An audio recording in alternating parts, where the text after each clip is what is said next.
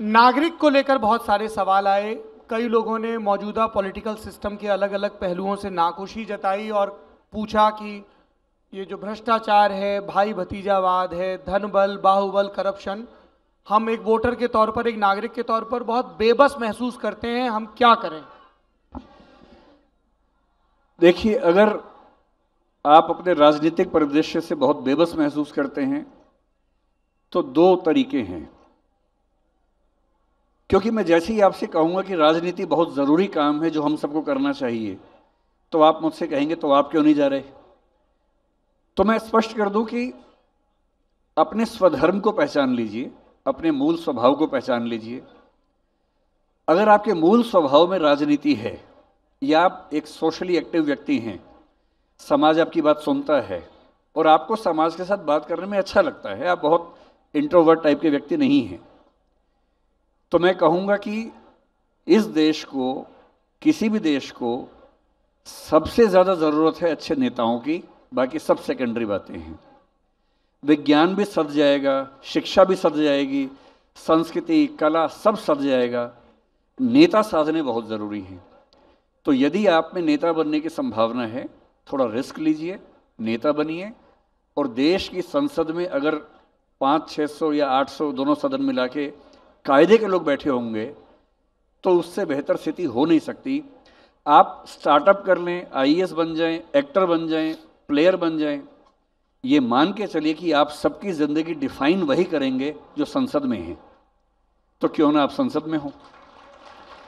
लेकिन लेकिन यदि आपका स्वभाव वैसा नहीं है, जो, जैसे मैं अपने बारे में सोचता हूँ कि मेरा स्वभाव उस तरह का नहीं है। मैं अगर पॉलिटिक्स में जाऊँगा तो शायद बहुत सहज नहीं रह पाऊँगा और मैं तो मेरे जैसे व्यक्तियों के लिए क्या है? या तो आप पॉलिटिक्स में जाएँ? मैं क्या करूँ? या सौरभ जैसे राजनीति में नहीं है, सौरभ की ज़िम्मेदारी क्या बनती है? तो हमारी ज़िम्मेदारी ये बनती है कि अगर मैं राजनीति में नहीं हूँ, जैसे मैं किसी पार्टी के पक्ष में नहीं हूँ, मैं किसी पार्टी से ना संवाद सबसे होता है, लेकिन मैं किसी पार्टी का मेंबर भी नहीं हूँ, ना मन से हूँ, ना कागजों पर हूँ। तो मेरी ज़िम्मेदारी ये बनती है कि किसी भी मुद्दे पर हर पार्टी को भूलकर अपने सुनने वालों को ये बताऊँ कि क्या सही है, क्या गलत है, ताकि हमारे देश में एक राजनीतिक मैच्योरिटी पॉलिटिकल मैच्योरिटी आए। उसमें जो थोड़ी बहुत भूमिका मैं निभा सकता हूँ, मैं निभाऊँ। और यदि इस प्रोसेस में कुछ अच्छे नेता निकलते हैं, जिसमें थोड़ी भूमिका मेरी भी है तो मैं तो इतने में संतुष्ट हूँ। इतना काफ़ी है मेरे लिए। जी ऑन दैट नोट क्या विकास दिव्य कीर्ति को कभी किसी पॉलिटिकल पार्टी से ज्वाइन करने का या चुनाव लड़ने का या किसी भी तरह से अपनी सेवाएँ देने का ऑफ़र आया है? मतलब सीधा ऐसा ऑफ़र तो नहीं कि ये ऑफ़र आ जाइए ऐसा नहीं लेकिन हाँ दो तीन बड़ी पार्टियों से संवाद उन्होंने किया। लेकिन जैसे ही मुझे समझ में आता है कि वो इसलिए संवाद कर रहे हैं तो मैं पीछे हट जाता हूँ। जहाँ तक बात मिलने की होती है कि एक बड़े नेता हैं मिलना चाहते हैं तो मिलने में मुझे कोई हर्ज नहीं लगता। सबसे मिलना अच्छा लगता है। पिछले छः महीने में ऐसा दो तीन बार हुआ कि किसी पार्टी के अध्यक्ष मिलना चाह रहे हैं। तो जनरली मैं अब तक मिला नहीं हूँ। मैं दूर से ही ये कह के कि मैं उस रास्ते पर जाने के मूड में हूँ नहीं। तो फिर मुलाकात का फ़ायदा है नहीं। तो फ़िलहाल ऑफर्स हैं पर मैं बचता हूँ इस चीज़ से। जो ऑलरेडी संसद में हैं या संसद में पहुँचने की दावेदारी रखते हैं मैं उन पर आपकी प्रतिक्रिया जानना चाहूँगा। शुरुआत करूँगा प्रधानमंत्री नरेंद्र मोदी से। नरेंद्र मोदी मैं मैं पहले स्पष्ट कर चुका हूँ कि मेरा किसी पार्टी से एफिलिएशन ना है, न होने की संभावना निकट भविष्य में है। मैं अपने मन की बात कहता हूँ। देश के प्रधानमंत्री के रूप में मुझे नरेंद्र मोदी इस समय बेस्ट चॉइस लगते हैं। दिल्ली, मैं, ये आधा सेंटेंस था, मैं पूरा कर देता हूँ। और दिल्ली के मुख्यमंत्री के रूप में अरविंद केजरीवाल बेस्ट चॉइस लगते हैं। मुझे इन दोनों में कोई समस्या नहीं है। मैं चाहता हूँ कि इस समय के हालात में मुझे अभी कोई ऐसा नेता नज़र नहीं आ रहा जो मोदी जी से बेहतर पीएम बन पाए न ऐसा नेता जो अरविंद केजरीवाल से बेहतर सीएम बन पाए। तो मैं चाहता हूँ कि केजरीवाल दिल्ली के सीएम रहें मोदी जी देश के पीएम रहें। और अब ये तय हो गया है कि इतनी क्लिप काट कर खूब वायरल की जाएगी। तो चलाए। कांग्रेस के पूर्व अध्यक्ष राहुल गांधी के बारे में आपकी क्या राय है? राहुल गांधी अपने बेस्ट संस्करण लगातार बन रहे हैं। पहले की तुलना में वो बहुत बेहतर हुए हैं और बेहतर हो रहे हैं। 2024 में तो मुझे संभावना नज़र नहीं आ रही, लेकिन उनतीस में हो सकता है कि वो एक बड़े दावेदार हों। और अगर होंगे तो अच्छा है। हम हम क्यों मान के चलें कि एक ही पार्टी हमेशा देश चलाएगी? अलग अलग नेता, अच्छे नेता आए पॉलिटिक्स में, देश को संभालें, इसमें क्या बुरी बात है? संभालना चाहिए। जी। एक इल्ज़ाम भी लगता है विकास देवी कीर्ति जी। इल्ज़ाम? हाँ मैं आ रहा हूँ, आ रहा हूँ, आ रहा ठीक है भाई, आप जनता पूछ रही है, आप उत्तर प्रदेश के मुख्यमंत्री योगी आदित्यनाथ पर अपनी प्रतिक्रिया बता दीजिए। जब जब योगी जी को सीएम बनाने का फैसला हो रहा था, उस समय दो तीन उम्मीदवार थे, और मैं दिल से चाहता था कि योगी जी सीएम न बने।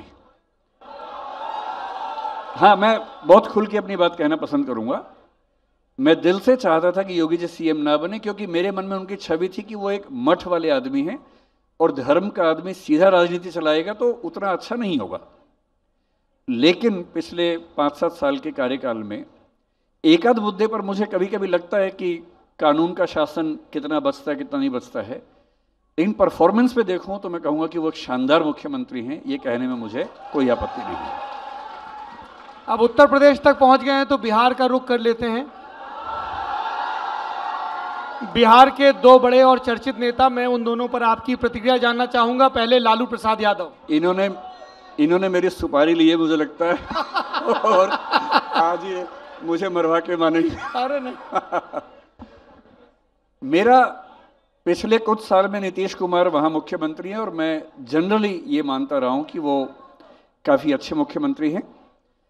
नए लोगों में तेजस्वी यादव से मुझे काफ़ी उम्मीद है और मुझे लगता है कि वो जो जो लालू जी के समय की बातें थी कि जंगल राज होगा, वो सब होगा, इस बार जब ये पार्टी सरकार में आई तो मुझे चिंता थी। लेकिन मैंने देखा कि पिछले कुछ महीनों के शासन में उन्होंने बहुत ताकत लगाई है कि वो छवि फिर से ना बन जाए। और अगर तेजस्वी यादव उन गलतियों से मुक्ति के साथ मुख्यमंत्री बनने के रास्ते पर हैं तो मेरा ख्याल है कि बिहार के भविष्य के लिए वो एक अच्छे नेता साबित होंगे। जी, मैं, ये आखिरी प्रश्न है इस सत्र का। कई लोग ये इल्ज़ाम लगाते हैं कि यूपीएससी की तैयारी कराने वाले और जो यूपीएससी में सिलेक्ट हो गए हैं, दोनों लोग एक सेमी गॉड से हो गए हैं डेमी गॉड से हो गए हैं, बहुत ज़्यादा ग्लोरीफाई कर दिया गया है। ऐसा लग रहा है कि अगर आपने आईएएस नहीं निकाला तो कुछ नहीं किया और आईएएस निकाल लिया तो आप सब कुछ हो गए हैं। जो सिविल सर्वेंट सिलेक्ट होते हैं, उनकी रील्स वायरल होती हैं। प्रशासनिक कार्यों से इतर वायरल होती हैं। ब्यूरोक्रेसी में इसको लेके बहुत नाखुशी जताई जाती है कि आप इन सब चीज़ों को लेके क्यों इतना लाइमलाइट में आ रहे हैं। मॉक इंटरव्यूज़ को लेके, सफल कैंडिडेट्स के इंटरव्यूज़ को लेके, लबासना में ज़िंदगी कैसी होती है, बहुत ज़्यादा ग्लोरीफाई कर दिया गया है। और बहुत सारे छात्र हैं जो रात दिन ये रीलें ही देखते रहते हैं पढ़ाई छोड़कर। क्या कहेंगे इस पर मतलब इसमें दो बातें हैं कि जो सिविल सर्वेंट्स हैं, उनकी रील्स, टीचर्स जो हैं, उनकी रील्स क्यों बनती हैं? कोविड के दौर में जब हमने यूट्यूब पे कुछ आना शुरू किया तो मुझे उम्मीद नहीं थी कि ऐसा होगा, क्योंकि एक सामान्य समझ ये है कि हिंदी समाज पढ़ाई को लेके बहुत उत्सुक नहीं रहता है। एक सामान्य समझ ऐसी है और हमें भी लगता था। और मुझे ये बात हज़ारों बार कही गई है कि हिंदी समाज में पढ़ने की इच्छा है ही नहीं। जब मैंने अपने वीडियोस यूट्यूब पर डाले, लंबे वीडियो, तीन घंटे, चार घंटे, पाँच घंटे का वीडियो भी छः घंटे का वीडियो भी डाला तो मुझे यूट्यूब के धुरंधरों ने कहा कि 27 मिनट से ऊपर वीडियो डालेंगे तो पिट जाएँगे। मैंने बहुत कोशिश की छोटा करो मुझसे छोटा होता ही नहीं वीडियो। मैं विस्तार में ही बात करना पसंद करता हूँ। लेकिन मैंने देखा कि जो वीडियो तीन घंटे, चार घंटे का वो भी दो करोड़, तीन करोड़, साढ़े तीन करोड़ लोगों ने देखा। तो मैं एक बात तो आपसे कहना चाहता हूँ कि पिछले तीन साल में मेरी धारणा ये बन गई है कि हिंदी का समाज भी ज्ञान का, समझ का, पढ़ाई का उतना ही भूखा है जितना कोई भी सभ्य समाज होता है। और यदि, और और यदि मेरे जैसे कुछ लोग, जिनमें मैं भी संयुक्त से शामिल हो गया हूँ इसमें कुछ भूमिका निभा रहे हैं तो ये स्वागत की बात है नंबर वन कोविड ने क्या किया कि जो वीडियोस पॉपुलर होते हैं, उनके क्लिप निकाल निकाल के कई चैनल्स ने क्लिप्स डालनी शुरू की। मुझे मेरी टीम ने बताया कि करीब 40-50 हज़ार चैनल्स हैं जो हमारे क्लिप्स काट के चलाते हैं और पैसा कमाते हैं। हमने शुरू में एक्शन लिया एक दो बार, फिर जब उन्होंने निवेदन किया कि, सर, आपको इसमें क्या दिक्कत है? हम पैसा कमा रहे हैं तो। हमें भी लगा कि हमें क्या दिक्कत है। और यदि कुछ लोग कमा रहे हैं, अगर इससे रोज़गार बढ़ रहा है तो हमें क्या परेशानी है?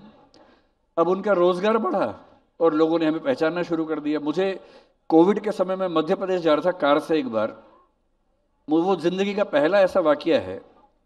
एक रिमोट गाँव के अंदर पेट्रोल पंप छोटा सा, वहाँ कार रोकी कि चलो पेट्रोल भरवा लेते हैं, डीजल भरवा लेते हैं। वहाँ में उतरा, वॉशरूम गया और वॉशरूम में साथ में खड़ा हुआ व्यक्ति कह रहा है आप विकास सर हैं। तो फिर हम कहते हैं राइट टू प्राइवेसी अब सोचिए हालत क्या हुई होगी उस समय। मैंने कहा, भाई, तुम कौन हो? तो मुझे लगा, ये कैसे जानता है मुझे?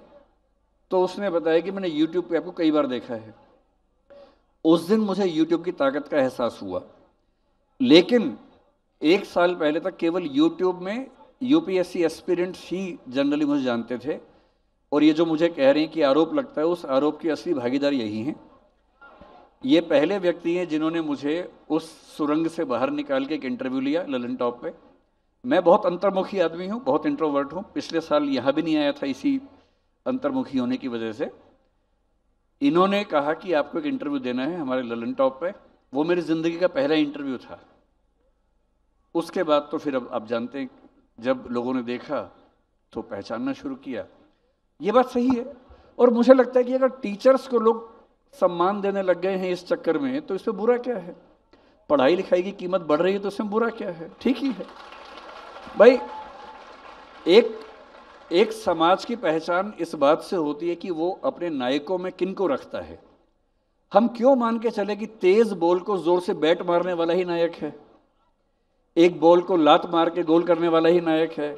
और एक रोल को एक्टिंग करके जी लेने वाला ही नायक है समाज का। समाज के नायक सैनिक क्यों नहीं है? समाज के नायक अध्यापक क्यों नहीं है? समाज के नायक वो क्यों नहीं है जो हम सबके घरों की सफ़ाई करने के लिए सीवर के अंदर उतरते हैं?